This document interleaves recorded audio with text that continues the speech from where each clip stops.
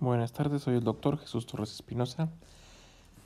Continuamos con eh, la revisión de los hipolipemiantes. Ya estuvimos revisando todo lo que corresponde a las dislipidemias.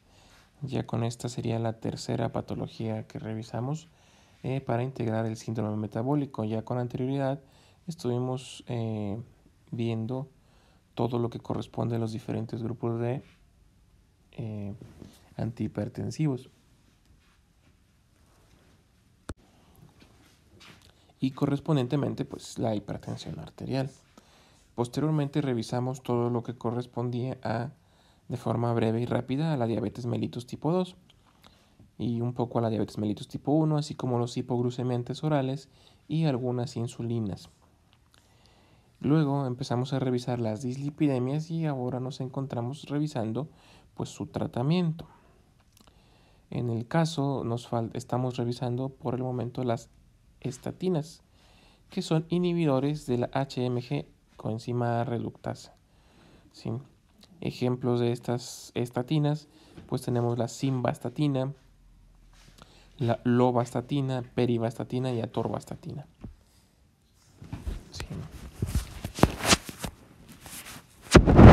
Estas, pues sus efectos son, y los vimos en una tabla ya, así es que vamos a tratar de no tardarnos mucho para ya terminar con este tema.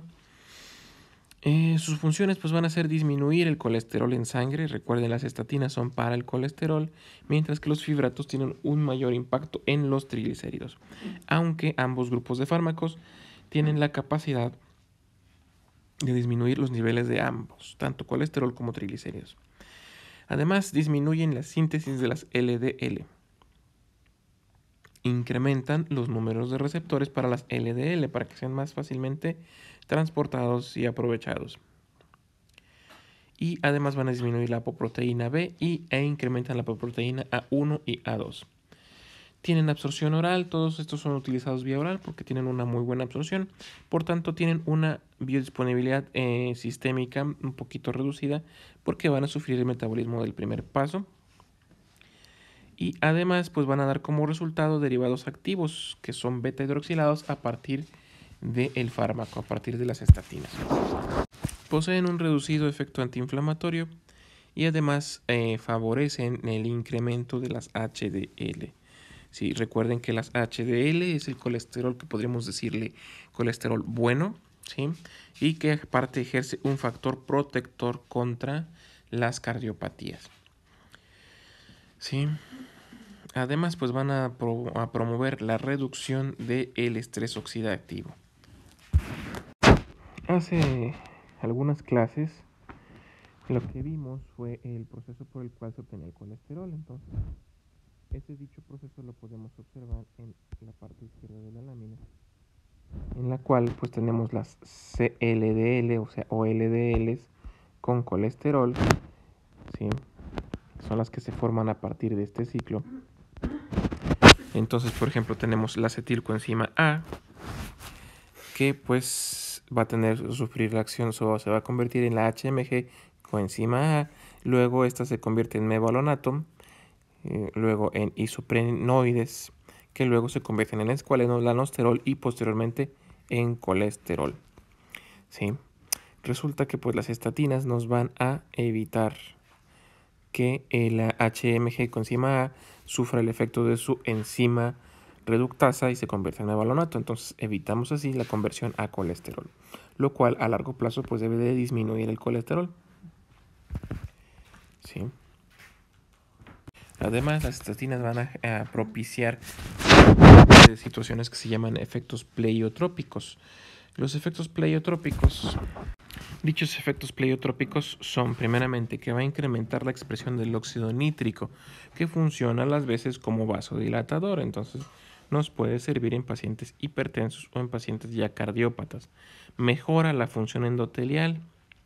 Además tiene algunos efectos antiinflamatorios que pueden ayudar en el caso de las placas ateroma. Algunos efectos inmunomoduladores.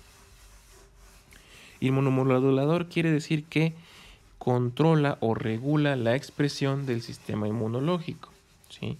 o al menos favorece la regulación de este sistema inmunológico Tiene además efectos antitrombóticos, que quiere decir que va a disminuir la probabilidad de que se formen trombos o coágulos que puedan viajar a diferentes partes del cuerpo y producirnos infartos.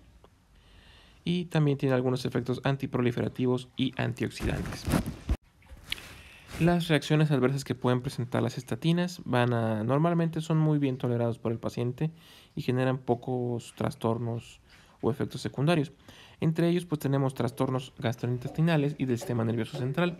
Los gastrointestinales incluyen náuseas y dolor abdominal, en algunos casos algo de diarrea. En el caso del sistema nervioso central pueden generar sensación de fatiga, cefalea e incluso insomnio. Y como muchos otros fármacos pueden generarnos reacciones de intolerancia o reacciones alérgicas mediadas por la histamina, tales como pues, son el rash o eh, exantema pruriginoso pueden incrementar la CPK o las transaminasas, que son enzimas hepáticas.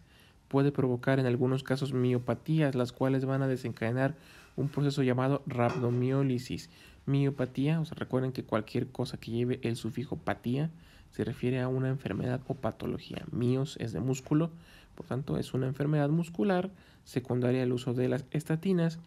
Y en el caso es la rhabdomiólisis. La rhabdomiólisis va a ser la degradación súbita de los componentes de los músculos, lo cual genera algunos complejos de muy gran tamaño que pueden dañar el riñón.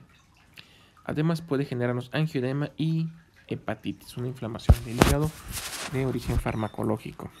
Aunque pues estos efectos secundarios son poco comunes, ya que como mencioné al principio, el medicamento normalmente es bien tolerado por los pacientes, lo cual permite un buen apego al tratamiento. Ahora tenemos a los fibratos o también llamados como derivados del ácido isobutírico. En este caso tenemos el besafibrato, el genfibrosilo y el clorfibrato. Tenemos tres ejemplos de estos fármacos. ¿Cómo funcionan? Van a incrementar la lipoproteína lipasa. ¿sí? Es una enzima, una enzima proteolítica dedicada a las lipoproteínas.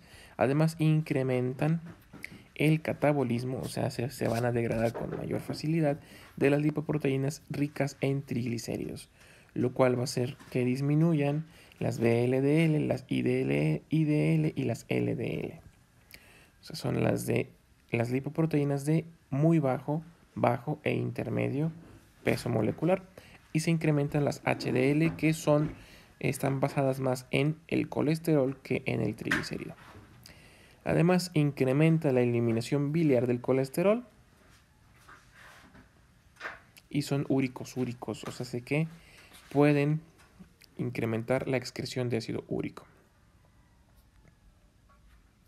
La biodisponibilidad que poseen, a pesar de que pasan por el primer, el primer paso del metabolismo, porque pues, se administran por vía oral, se aproxima casi al 100%. Estamos hablando de un 98, 99 punto y algo por ciento. ¿Sí? Tiene una, una unión a proteínas plasmáticas muy elevada, entonces va a ser transportado por la albumina y tiene eliminación por ambas vías, tanto biliar como renal. Sus reacciones adversas, igual que en el caso de las estatinas, puede producirnos dolor abdominal, náuseas y diarrea. ¿sí? A nivel gastrointestinal puede generar exantema, igual como una reacción de intolerancia mediada por la histamina, como les hemos visto con anterioridad, Casi todos los fármacos pueden generarnos ese tipo de reacción. Ya se los he explicado algunas veces. Otra puede generarnos alopecia. ¿Qué es la alopecia? Pérdida del cabello.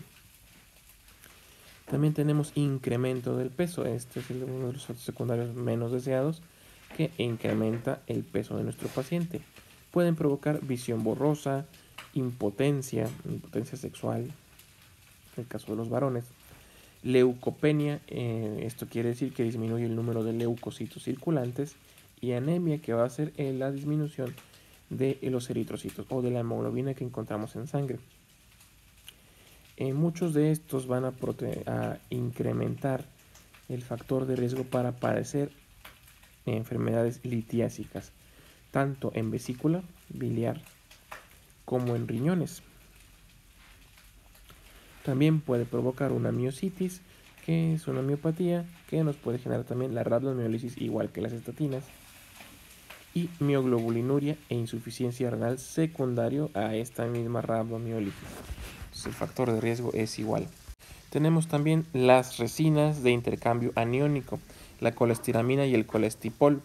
¿Cómo funcionan? Disminuyen la cantidad de ácidos biliares y de colesterol e incrementan los receptores de la LDL a la LDL aunque también incrementan lo que es la HMG coenzima reductasa e incrementan el metabolismo del colesterol endógeno.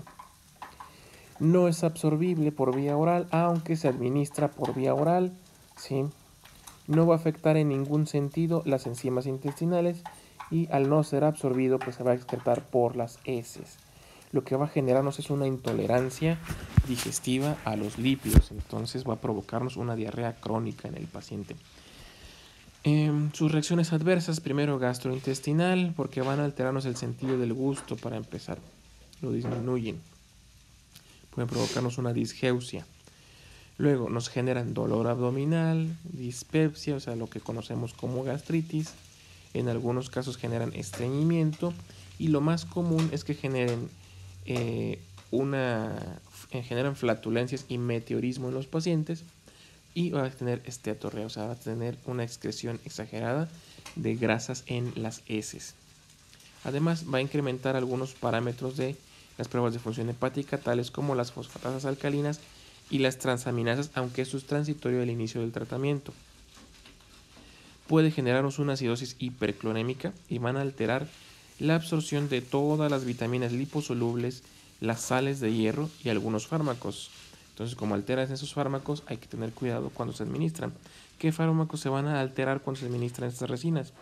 La clorotiacida o hidroclorotiacida, el fenobarbital, recuerden que la hidroclorotiacida es un diurético tiacídico, el fenobarbital, la fenilbutazona, algunos anticoagulantes orales como la enoxaparina, la tiroxina y los digitálicos. Entonces hay que tener cuidado en el uso de estos medicamentos en pacientes con hipotiroidismo y con problemas de insuficiencia cardíaca bajo un tratamiento digital.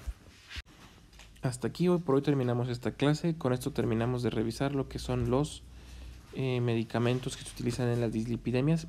Recuerden que su examen es este viernes 11 de diciembre.